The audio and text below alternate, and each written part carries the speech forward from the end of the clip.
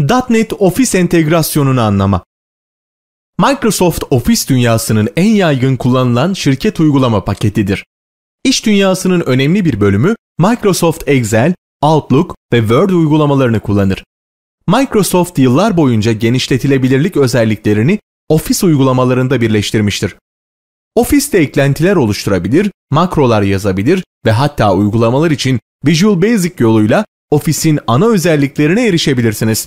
Visual Studio takımı bu entegrasyon araç setinin parçasıdır. Şimdi yeni proje oluşturma penceresini açın. Visual Basic altındaki Office'i seçtiğinizde 2007 ve 2010 için oluşturabileceğiniz uygulamalar görüntülenir. Gördüğünüz gibi neredeyse her Office ürünü burada gösterilmektedir. Office projelerinden bazıları çoklu nesnelere sahiptir.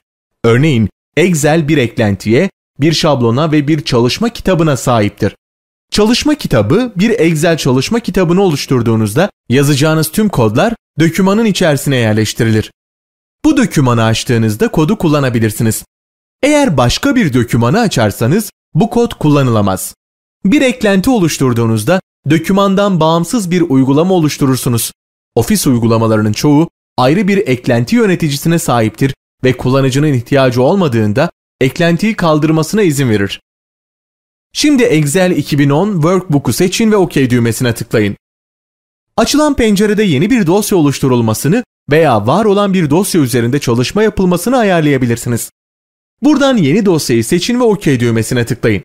Visual Studio'nun tasarım alanında bir Excel kopyası görüntülenecektir. Excel'de yapabileceğiniz her şeyi Visual Studio'da da yapabilirsiniz. Bir hücreye metin ekleyebilirsiniz, hücreyi alabilir ve bunu biçimlendirebilirsiniz.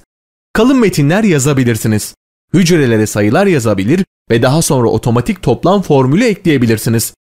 Uygulamayı çalıştırmak için F5 tuşuna basabilirsiniz. Excel çalışacak ve çalışma kitabı Excel içinde görüntülenecektir. Excel'i kapatın ve sayfa 1 VB dosyasına sağ tıklayın. Açılan listeden View Code komutuna tıklayın. Kod penceresinde sayfa açıldığında ve kapandığında çalışan kodları görebilirsiniz.